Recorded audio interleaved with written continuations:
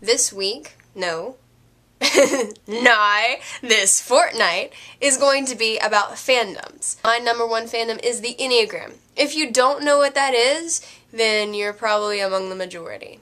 The Enneagram is a personality type system, which is completely and totally awesome. Most people are like, oh, I'm an ISTJ, and I have no idea what that means. Uh, which doesn't make any sense because those things are stagnant. The Enneagram, however, does not um, assume that people don't change and that they're not progressive. The Enneagram talks about, um, okay, okay, there are nine different personality types, and they are um, basically hmm, categorized by their motivations. So for each of the nine personality types, there is a specific key motivation that all actions are based upon. And it is diagrammed in a circle. I don't know if you can see that. For each type, you get the attributes of the two personality types before and after. So, I, for instance, am a 4.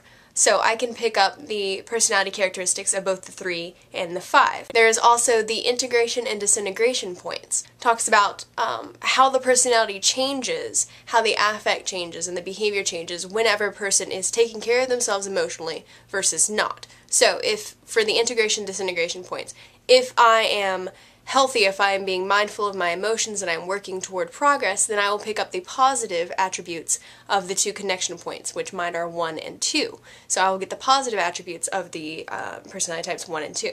If I am letting myself go emotionally, if I'm not in a good place, then I'm also picking up the negative attributes of those two types. So the Enneagram breaks each personality type into also nine different levels of healthiness. So at the top you have extremely healthy, at the very bottom you have extremely unhealthy. Functioning at the highest capacity that you can. Um, and likewise with the bottom, you are at the absolute lowest, you're probably going to commit suicide or homicide or um, drug overdose, stuff like that. The reason that I like the Enneagram is that it does not assume that, like I said before, that people stay the same and also does not assume that people are inherently just awesome and perfect. No, you have to work for what you've got. You know, if you're just, you know, not paying attention to yourself and you're not, you know, setting good boundaries, etc., you have codependent relationships, you're gonna get just gross and you're not gonna be healthy. But if you're counteracting that, if you're working toward, you know, making yourself a better person, you know, interacting with other people, not isolating, you're to get healthier and healthier. And the Enneagram acknowledges that. I am the four, the individualist, which makes so much sense. Um, the reason I love the Enneagram is because it makes me special, which is one of my key motivations. Um, but it talks about, you know, being self-aware and introspective and, you know, just talks about so many different things. Um, I found out about it from my high school math and science teacher who's also my mentor. The first time I read it, I started crying. I was like, people are not supposed to know this stuff about me. I was 16 years old and just sobbing in study hall, just freaking out. It also goes along to talk about different, like, um, notable people, different celebrities who have the same personality type. For instance, I have Jeremy Irons, Johnny Depp, Bob Dylan, and J.D. Salinger, which is a pretty good spread.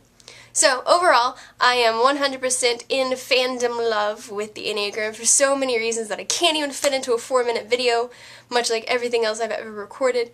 Um, if you have any questions or comments or you want me to type you, if I haven't already, then leave some comments in the doobly-doo or talk to me in person or via Facebook or however we communicate.